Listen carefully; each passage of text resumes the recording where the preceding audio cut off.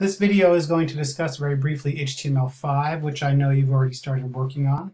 Uh, HTML5 is the most recent version of uh, HTML. Uh, prior to this, there were multiple versions working simultaneously, and you had to choose what you wanted, and it was all very complicated. HTML5 uh, simplifies quite a bit. Um, and for class on Monday,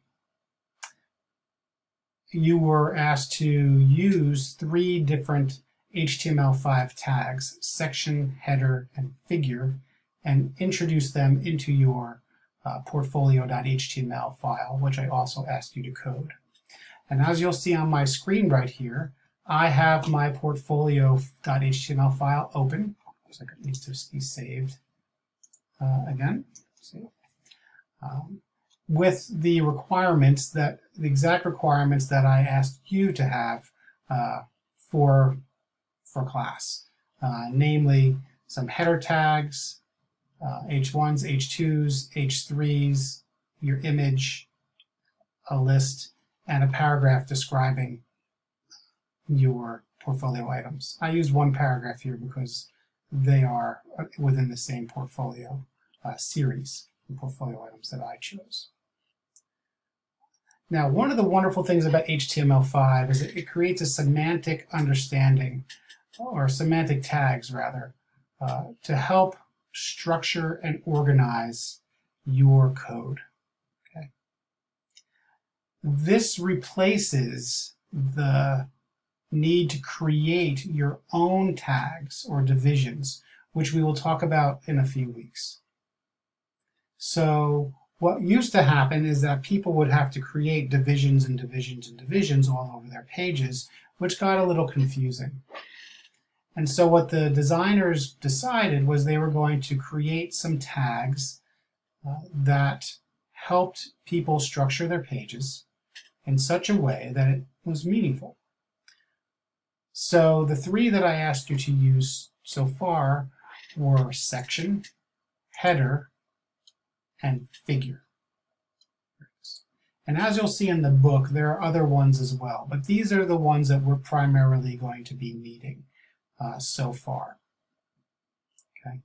Now, they are a little confusing because we they, for now, don't make any changes in your HTML or your page when you view it in the browser. Um, they're just here for organizational purposes, and eventually you'll be able to style them in your style sheet. Excuse me, I was just reading to my sons before bed and for like the last hour, and my voice is a little bit gone. So, sections section off portions of your page. And I'd like you to envision this like you would your resume. And your resume has different sections. You might have an education section, or a work history section, or a philanthropy section, or a, I don't know, skills section, right? And each one of those sections has a heading that goes with it. The education heading or the skills heading, right? And then there's content within it. But as you are looking through your resume, you do notice those different sections. They're sort of broken off. And in your mind, you envision them as different sections. The education section discusses education. The job history discusses job history, and so on and so forth. So whenever we are going to have a new heading, okay, this is the heading, right, H1 through H6, we also need to have a new header that goes along with it. Okay. And you'll see going down the page, and this gets back to the section, I'll be right back to that, that I have, whoops, mistake.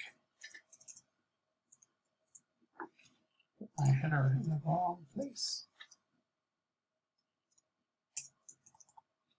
Okay. Whenever we have a new heading, we need to put the header tag around it. Okay. Now, this gets confusing because we also now have head, header, and heading. Okay.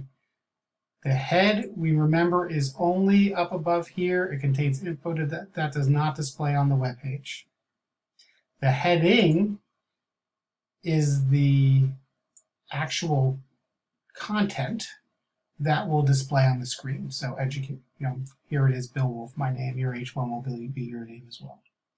The header tag wraps around, and we say wraps around because it opens and closes around the heading tags. And we do this whenever we have a header. I'm sorry, we have a heading, so it gets confusing. We do, we put the header tag around every instance of a heading. So you'll see it right here under H2. Okay, I'm going to scroll down to make sure that I have it around my H3s, which I do, and my H3 over here, which I do.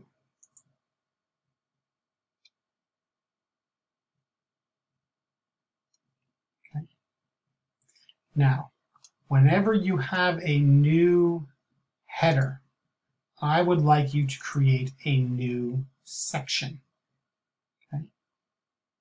So you'll see that I have this header, so I have a section that goes with it. And there's the opening and the closing.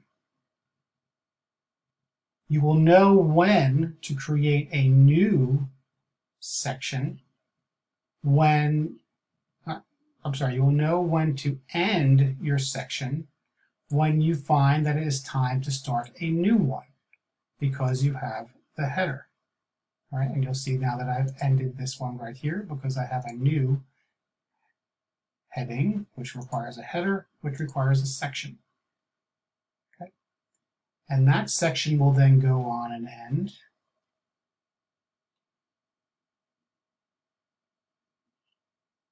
when I have a new section to begin because I have a new heading, which requires a header, which requires a section.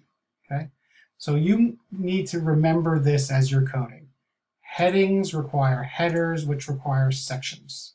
Okay, and the sections end when you have a new header coming up below it. Okay, because the section could go on for some time. Okay, you see all this content here goes within this particular section. And I begin a new one because I have a new heading. Okay. So you should write this down in your notebook, however you're writing it down, that whenever you have a heading, a heading requires a header, which requires a section. Okay. Just like we have some little mantras for this class with the uh, code, upload, refresh, repeat. Headings require headers, which require sections. Just repeat it over and over again. Eventually, we will be able to style these, these things. But for now, we just need to have this organizational structure here. And notice that I'm continuing with my clean coding. Um, and I'm hierarching and I'm spacing and everything is very intelligible and easy to read. While we're here, I do want to introduce you to one concept called commenting. And you'll notice that I've put these little notes in here, right? And they do not actually display on my web page. You know, the web page just has the content. This is what my portfolio page looks like right now. These are comments. And to create a comment, you essentially just do an exclamation point, and then this is my comment. And when you're done, you do dash dash, and you close the bracket. These are extraordinarily helpful. And as we get further along, I'm going to require that you use some comments, both in your HTML and your CSS, to help you understand what it is that you're doing in your code. I've placed these here as definitions that you can look at while I'm discussing the, uh, the code. But you can also see that I've added a little note here for myself first portfolio section begins. So I know that from the code below here to below, that's going to be my first portfolio item. And then when it ends, I put end first portfolio item. So I know that this section is and what this section is ending. Because if I'm looking at this right here, I can't see what's above, right? I can only see what's happening uh, at this moment. So this helps me understand what's coming above and I don't have to do all that extra scrolling. And then my second portfolio item section begins uh, right over here. And then I go down and I end my second portfolio item just the same way. Okay, so that's header and section. Every time you have a heading, you require a header, which requires a section. Figure is much easier, okay? Figure must be used around all image tags, okay? So every time you have an image, you need a figure to wrap around it. Again, we will be able to style this later on, uh, but it is right now uh, just necessary for the organization, and it's part of HTML5. Um, and when we're doing our validation testing to make sure we're coding okay, uh, if we don't have these things, the little flaggies, will, will, little flags will rise up, and we won't be able to. Uh, we have to fix it anyway. So it's good to put these in here now.